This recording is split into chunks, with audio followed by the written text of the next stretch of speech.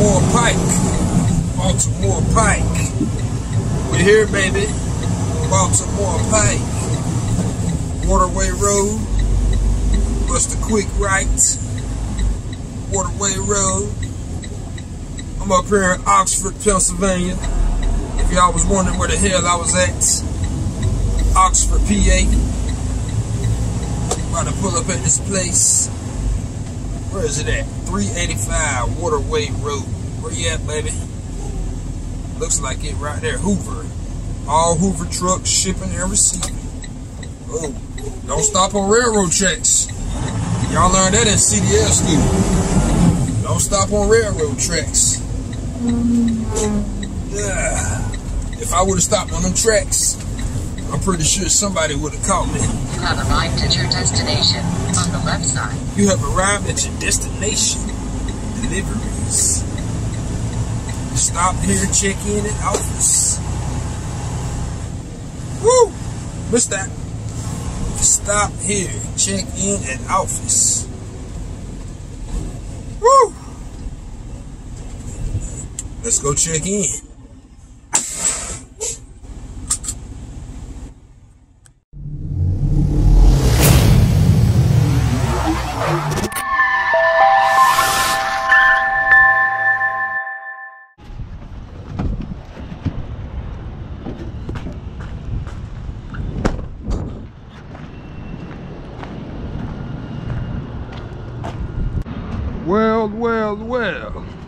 Well, well, well.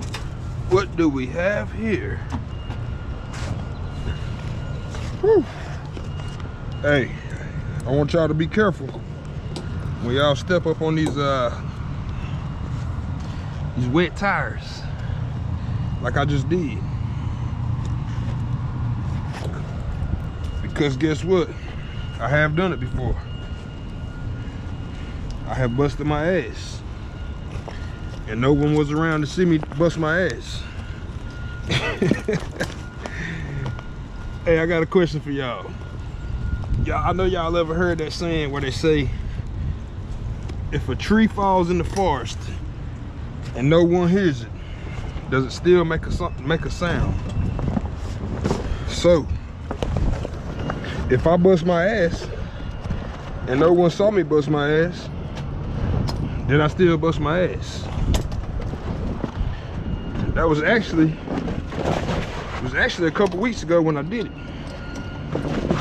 The only thing that saved me from hit, hitting the ground is I, uh, matter of fact, I'll show you when I get down. Cause I just did it a few weeks ago. And I actually did it when I, I was in, uh, what you call dropped a bungee, I don't know where it went. Oh, I see it, it's down on the ground. I'm paranoid about bungees falling down in there. Yeah, see that handle right here? I grabbed that handle right before I busted my ass. So, if no one sees you bust your ass, you still bust your ass. That's the question.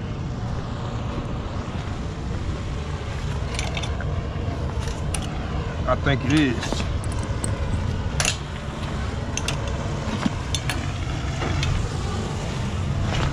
Yeah, pick these damn bungees up.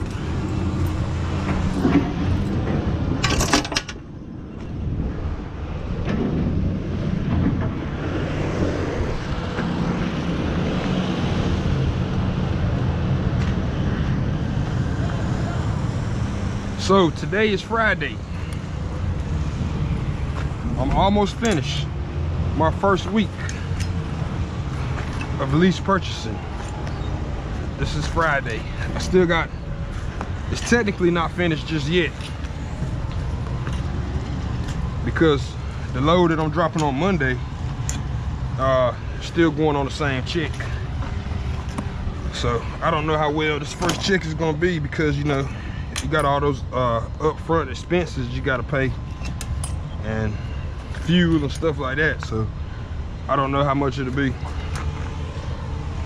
It's, it's gonna be over a thousand dollars. I don't think it's gonna be two thousand. It might be two thousand. Yeah, it should be two thousand. Should be a pretty good check. Yesterday I had a load that I picked up in, in Bulls Gap, Tennessee. I couldn't, I picked it up in Bulls Gap, Tennessee. I didn't deliver it until yesterday at 1, 1 p.m. They had the appointment time. I picked it up, I picked it up around, I wanna say around 12 o'clock in the afternoon. It was going like, I wanna say it was going about 300 miles. It took me like six hours to get, but I, I, I actually ended up going home. I think it was around 300 miles.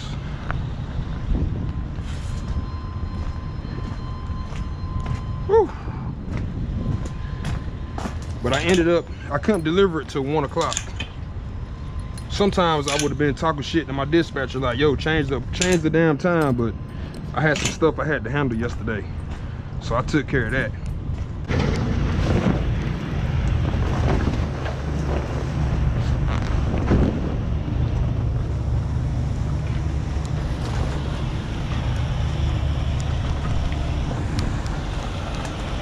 One of the things, one of the things that I had to that I had to take care of yesterday, since I had some free time, I had to go see an accountant.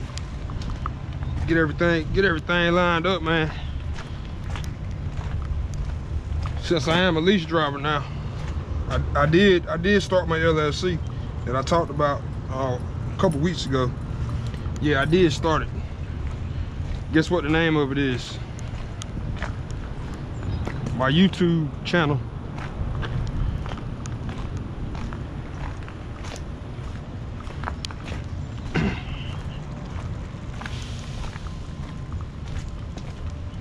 Let's go get this other side done.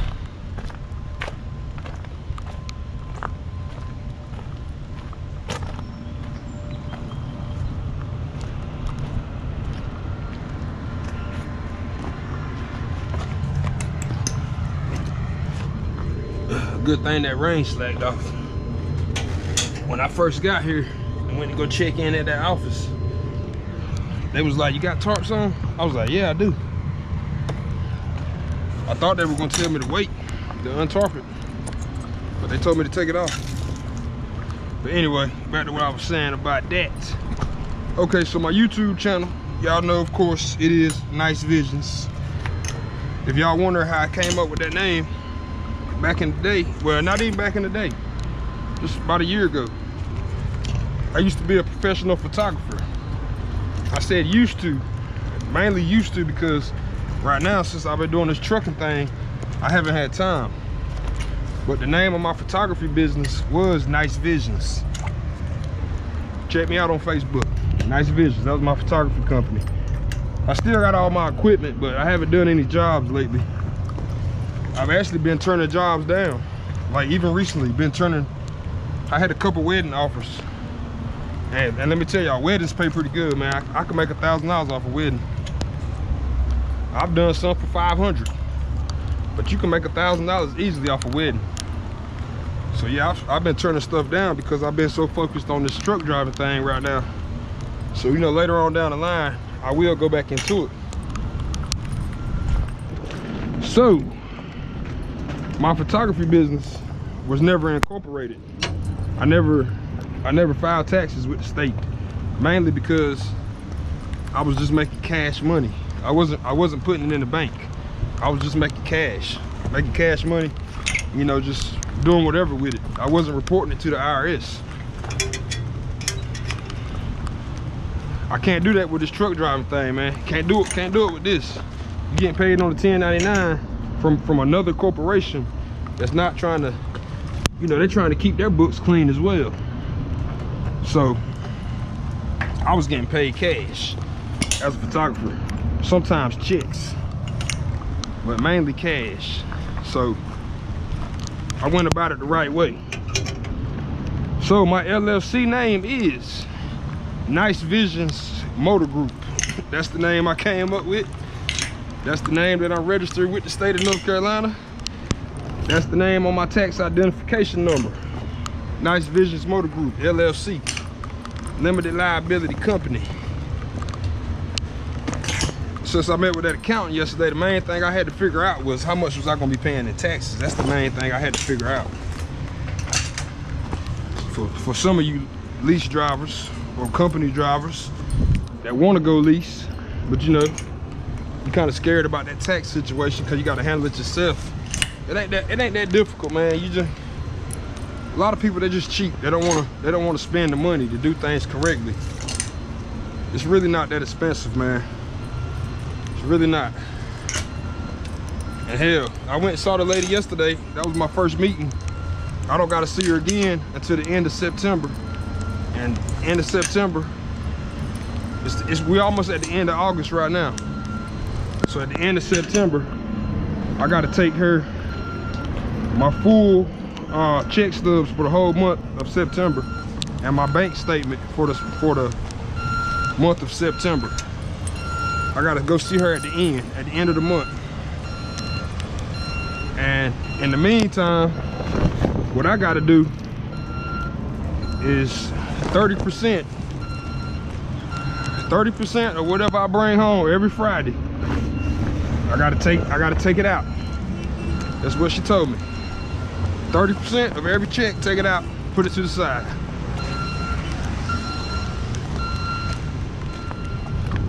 So, starting to pick up rain now, man. You know what? A lot of guys been asking me to do a truck tour. A lot of guys that watch me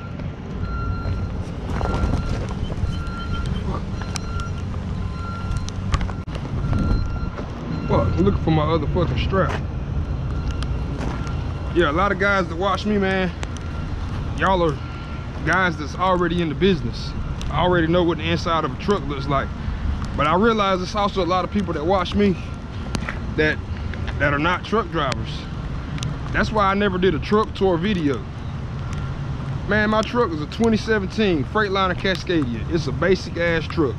No bells and whistles, just a basic truck. That's why I never did a truck tour because it ain't it ain't really nothing special to show you.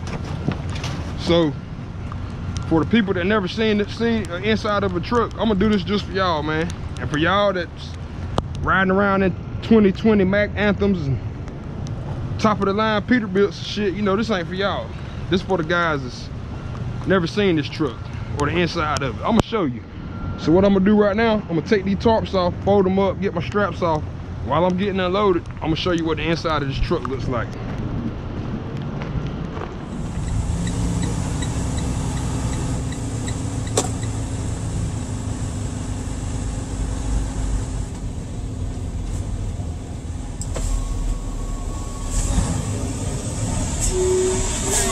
What's up, man? Came in to pick up and drop off. Picking up? I don't know if anybody here. My DM was telling me to get the, the paperwork was in the trailer or mailbox or something. Oh, you swapping trailer? Yeah. Lucky, that was goddamn white man. I got here like two minutes left. Yeah. Like, you lucky you got here right when you did. I could get my car and go the hell home. You don't see nobody till Monday. Hey, so where you get the paperwork from? The guard shack? Ain't nobody in the guard shack. You gotta be somewhere on the trailer. Okay. All right, appreciate it.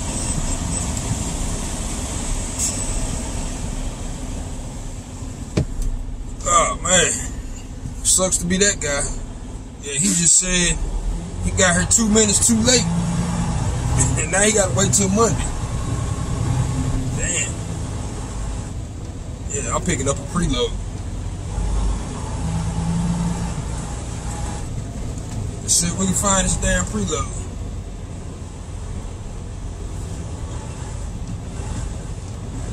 Is anybody in this guard shack? See nobody in there. Let's go find this damn preload. I supposed to be giving y'all the truck tour, but it didn't work like that. Didn't work out like that. Let's see what trailer number. 141145. Let's see if we can find this trailer. 141145. Yeah, I was just talking to my buddy the other day about this this pipe. He's like, man, P&S must got a lot of freight with this pipe. Cause I see it a lot.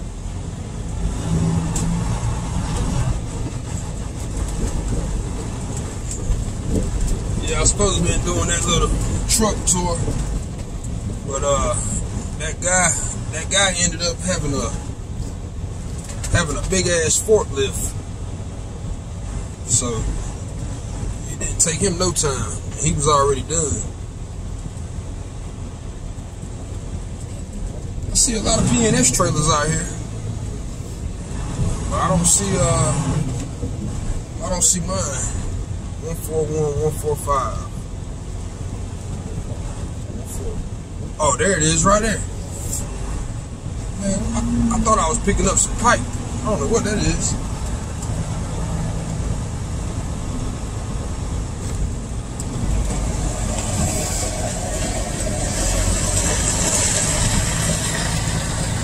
I don't know if y'all saw it. I don't know if y'all saw it when I was just turning around. But I was looking for a trailer with some black pipe. But that one don't got no black pipe on it. I don't know what it is, but it's already tarped. I don't know what it is.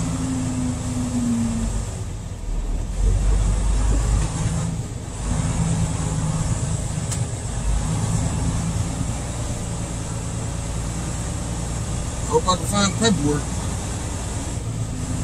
It said it was on the trailer.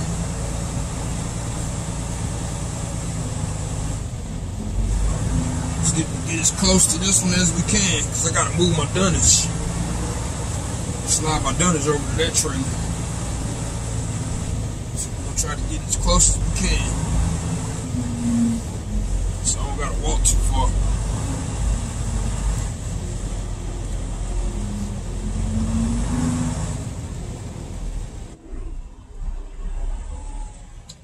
Four one, one four five. Yep, right here in front of me.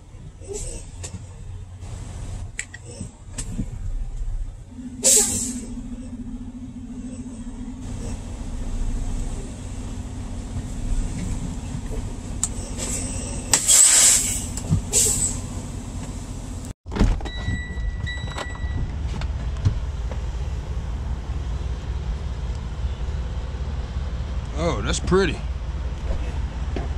Oh, pretty tarp job. Real pretty. Let's check it out. See if it's already secured pretty good.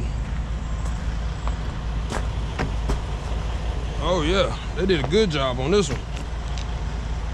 Oh yeah, Superman, I call that the Superman. When you got the flap going backwards.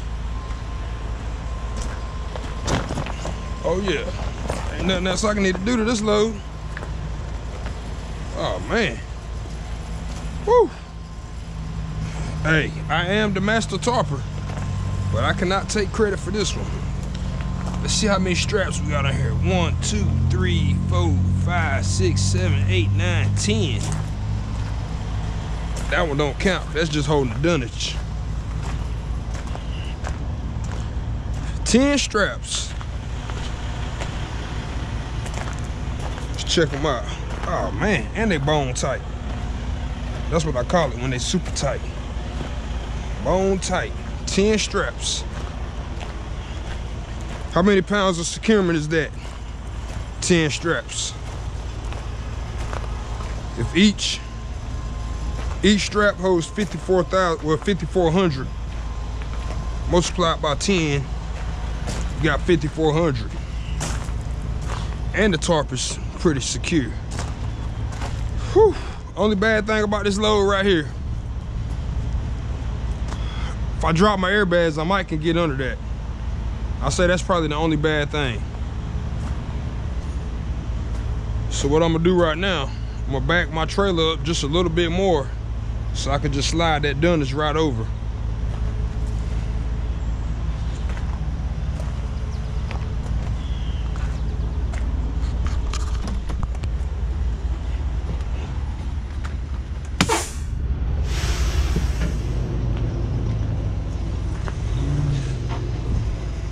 other P&S driver getting the hell out of here. I don't blame him.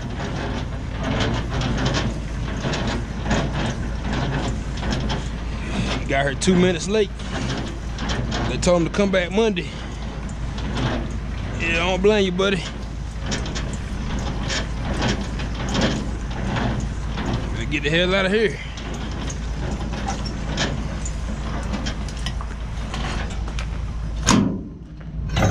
But this little town right here, man, this little town, man, I swear it probably got about 25 stoplights. I caught hell getting here. I had to go like 11 miles. Took me like an hour. Took me like an hour to go 11 fucking miles. Yeah, you better get the hell out of here. Cause ain't nowhere to park. They even got these bone tight. Hey, they don't play the radio around here. It's my first time coming to this place. Yeah, first time coming here.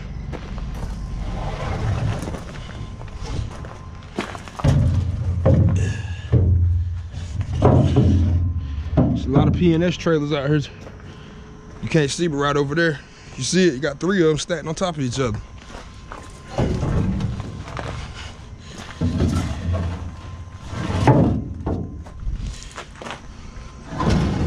Don't know. I don't know too much about P&S, cause you know I ain't been here that long. But one thing I do know, I know they got some damn freight. I know that. They got plenty of freight. So if you hear if you hear somebody talking some dumb shit, oh man, P&S ain't got no freight, bro. They definitely got some freight.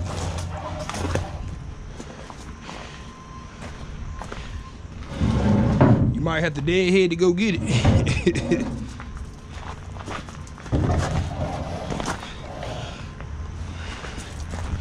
Somebody asked me, they said, what's what, what's the one thing about P&S you don't like?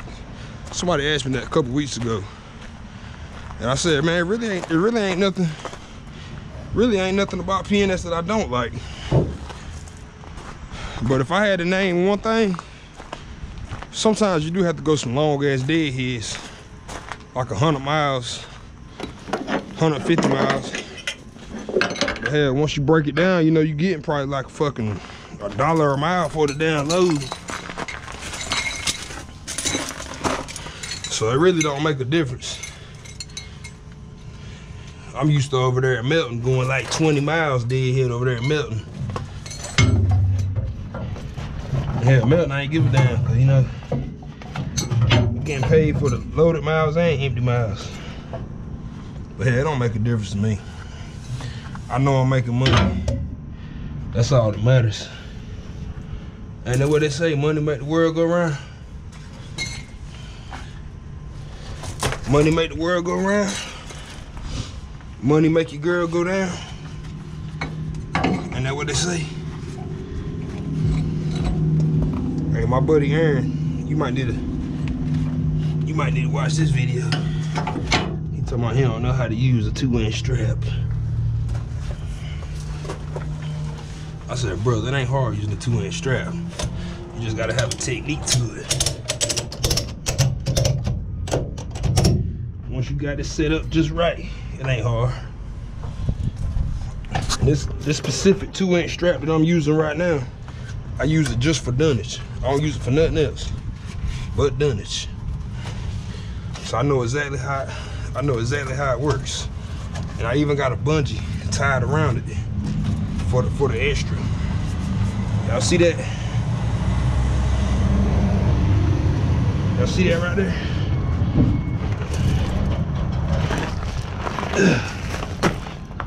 Whew, got the perfect setup for it. All thing we gotta do now. Only thing we gotta do now, drop my truck down, get up under that load. I might not have to drop it, but we about to find out.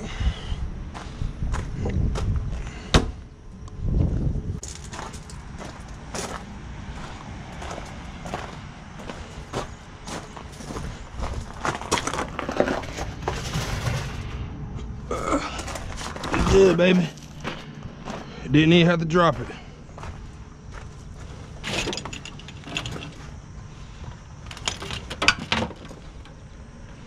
Oh yeah, I did get some brand new airlines on my lease truck. These things are crispy. My last truck, I always had to fight to get them, get them up there. These motherfuckers going real good.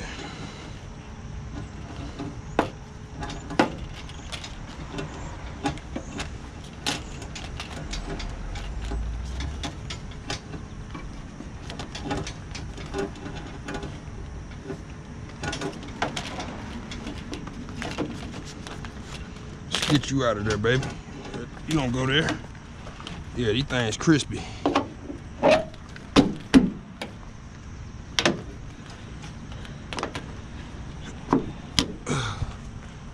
Just get this landing gear up.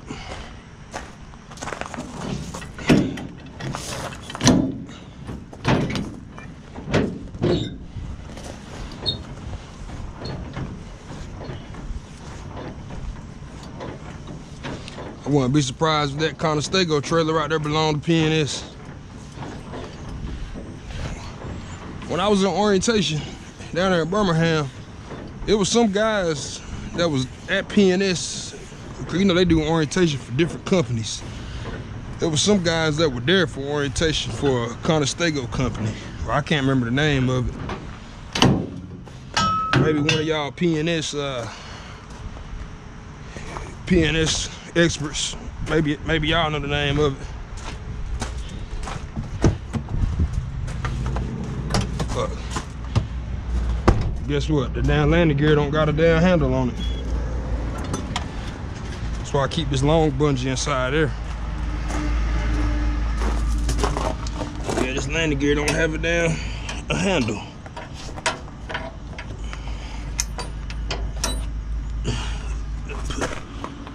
Oh, Mr. Bungee will do it. Oh, Mr. Bungee. See how we're gonna get you up there. That ain't gonna work.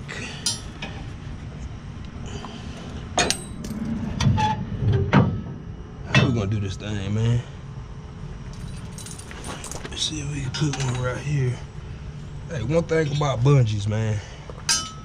One thing about bungees. It's never a right way or a wrong way to use a bungee. Let's see how we're gonna do this.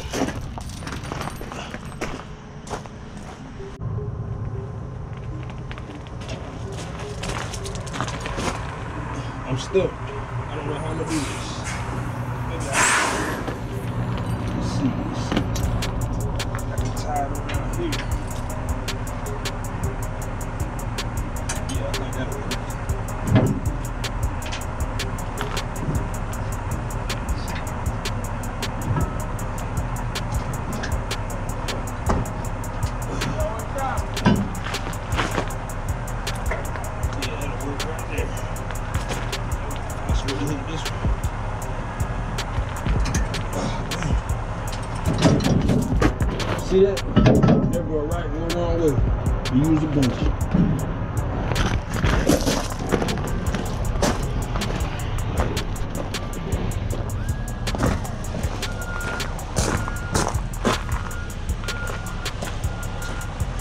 All right, gang.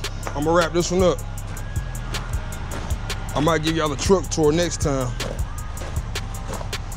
About to go over here and get my uh, winch bar. Then I'm gonna crank crank this truck up, let it run for a little bit, let the air pump up, and I'm gonna also check my trailer lights while I'm doing that. Until next time, flatbed gang.